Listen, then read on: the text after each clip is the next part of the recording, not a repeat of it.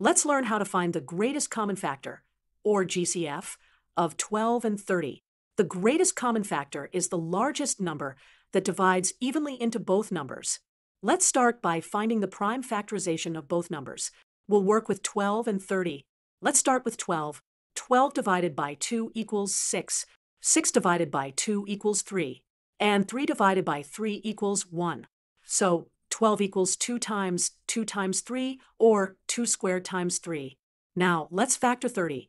30 divided by 2 equals 15. 15 divided by 3 equals 5.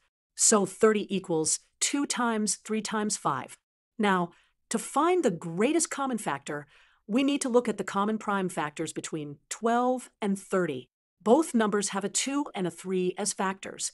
For the number 2, 12 has it twice while 30 has it once, so we'll use it once. For 3, both numbers have it once. To get the greatest common factor, we multiply these common factors together.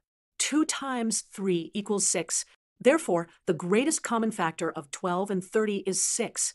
We can verify this is correct because 6 divides evenly into both 12 and 30. 12 divided by 6 is 2, and 30 divided by 6 is 5.